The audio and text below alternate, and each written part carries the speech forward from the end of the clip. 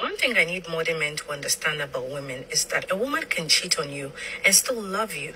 She can cheat on you and still respect you. Oh. Cheating has got absolutely nothing to do with respect and love. For women, we are able to dissociate sex from emotions and feelings. This is a joke? You understand? At the Is end of the joke? day, you should be grateful that she picked you, that you are the one she agreed to marry, that at the end of the day, you're the one she comes home to at night. By No. biological design, men are rarely able to satisfy a woman in one take. So when you start it, right, she's allowed to go out there and find somebody to finish what you started.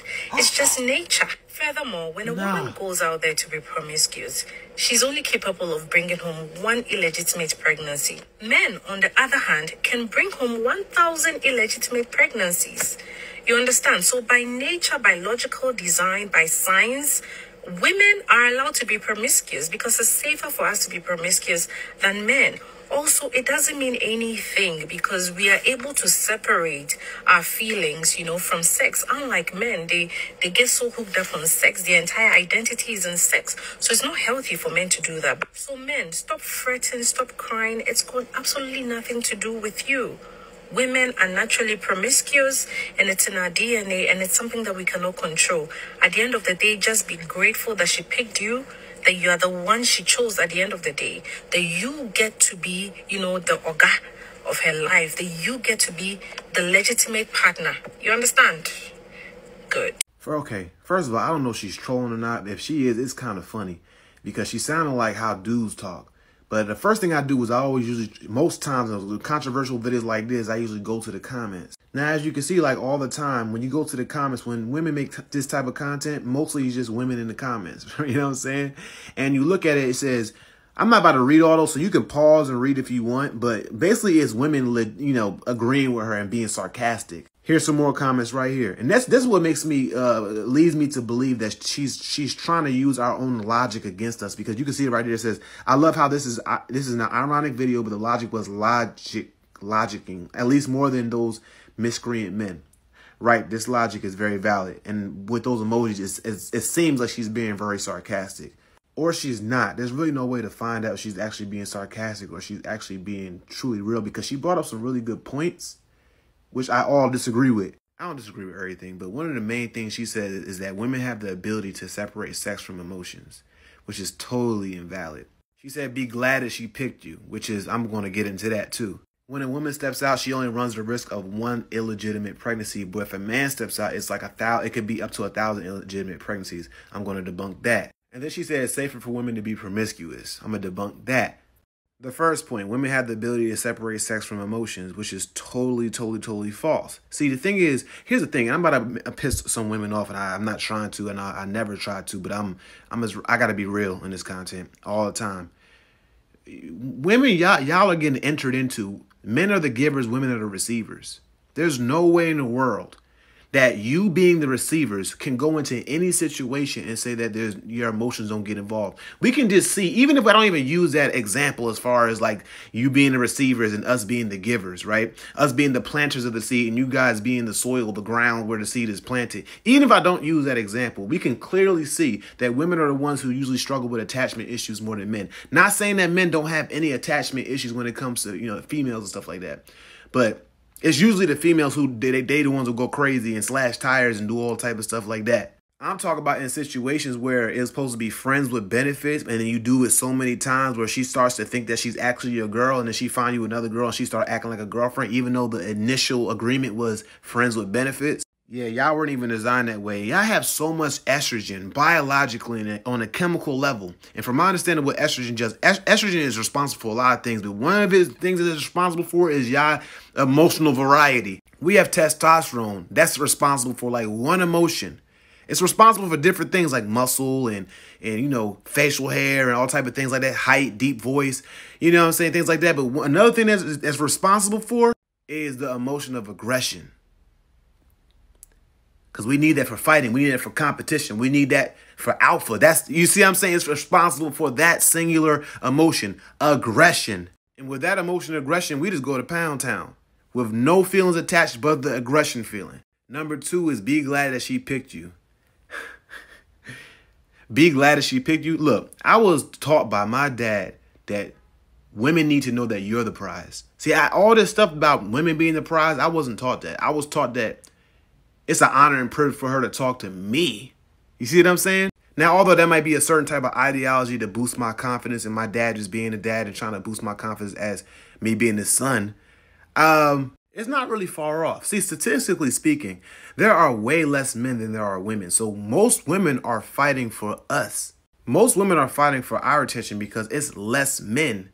It's a plethora of women. And different factors are contributed to that systemically, like, you know, the prison system and also, you know, men getting killed through war and, you know, street the streets war. You know what I'm saying? Not just war in Iraq, like the war out on the streets. It's that testosterone aggression. That that that thing causes when men handle their situations with each other, it it, it turns crazy. It, it, it can be, it can be, you know I'm saying? It can, and it can be deadly. And to break it down even more, I'll give you an illustration. Say it's a thousand women, right? And it's a thousand men. Now, out of that thousand, it turns down to a 500 because men got killed, women went to prison, things like that. So now it's a thousand women and it's 500 men, right? From that 500 men, those thousand women, it ain't like them thousand women going to try to compete for those 500 men. No, what do women do? Women compete for the top 20%, the top 15 to 20%. So that that 500 men that they're them 1000 women are competing for turns into like I don't know the daggone math, but like 100 or something like that or less than 100, which may be fast because I heard other people quote the statistic that 15 15 to 17% of men in our community have 100% of the kids, leaving like 80% of the men like single or what you know what I'm saying? Like 80% of black men don't even have kids. That's crazy. All the kids is 20% of men sharing women.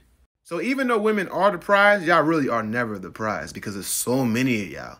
If you don't want us, it's on to the next. I mean, it's so many of y'all, bro, to choose from. Number three, if she steps out, she only runs the risk of one illegitimate pregnancy. But if a man steps out, he runs the risk of having over a thousand illegitimate pregnancies. Let me tell you why that's wrong. Well, it's right and wrong. So first of all, I don't know what illegitimate means, but I know it's like a legal term, like legitimate, legitimacy, le- you know what I'm saying? It's all in that legal jargon type thing. And I think legitimate just means valid.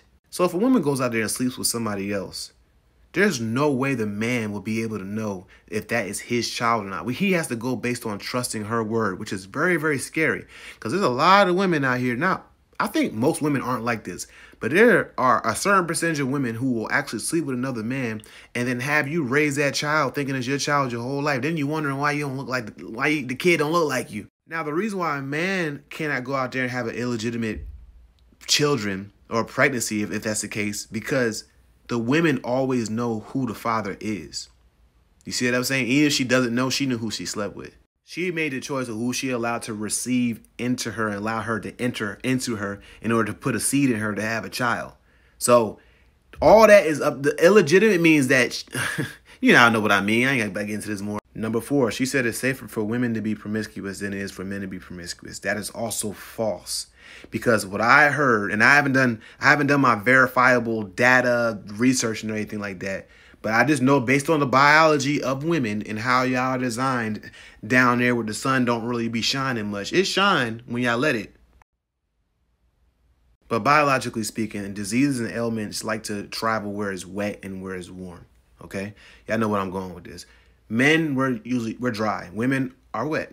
So it's actually easier for them to get an STD than a man is. So, you know what I'm saying? So after all that being said and me possibly debunking everything that she said, or all those four points that I brought up, it causes me to believe that she's being sarcastic and she's trying to use it as a way of she's trying to be sarcastic to use our own logic against us to show us how silly our logic is. But the only thing is, and just like you use that lot trying to use the logic against us, I'm gonna use the same language I use against us. The same thing is, uh, the only thing is, boo boo, uh, honey, uh, a sweetie, just like I be saying to us, boo boo, and you know, the only thing is, boo boo. I felt so weird doing that. But the only thing is, um, y'all don't want to accept men's nature. If you're gonna get with a man, don't get with an alpha male in a relationship. Y'all keep choosing these alpha males and y'all keep getting disappointed because the alphas are always going to have the highest level of testosterone, the highest options to choose from, or the most the most amount of options to choose from in women. Y'all keep choosing these alpha males. You all need to be choosing these sigma males. From my understanding, I think sigma is just a dude about his business.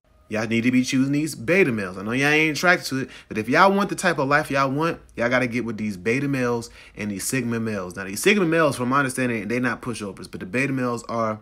If you want a happy life, get yourself a beta male. You ain't got to know about no cheating. I got a friend, and I hope he don't watch this video. I got a friend who's a beta male. He ain't never gonna step out on his wife. Ah, he's so daggone beta. You know what I'm saying? He's yes, honey, and oh, whatever you need, honey. And she just be running all over him. I be feeling so. I would be like, oh my goodness. Hey, tell me what y'all think. You know what I'm saying? Because I, I could be wrong. I don't I don't come on here thinking I'm always right about everything. Everything is open for discussion so that I can learn more. Have a good day.